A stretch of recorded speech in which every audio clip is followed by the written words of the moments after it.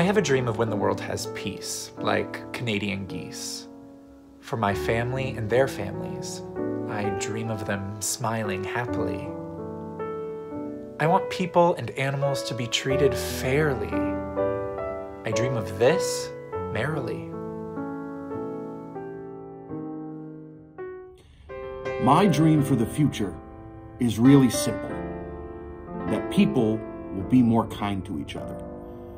Even if there isn't a pandemic and everything is going pretty great, we have to be nicer to each other. Because you never know if what you do is going to make someone's day.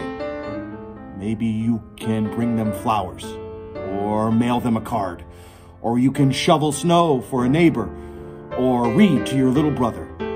But I dream about a world where everyone decides to be kind all of the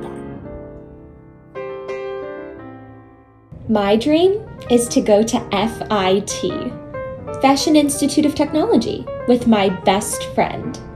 We both wear cute but serious outfits to school. We both can sew and we love to show our ideas in what we wear. I can craft and I'm very good with fabric. I can be very crafty and resourceful. I know what patterns look good together and stuff that can match.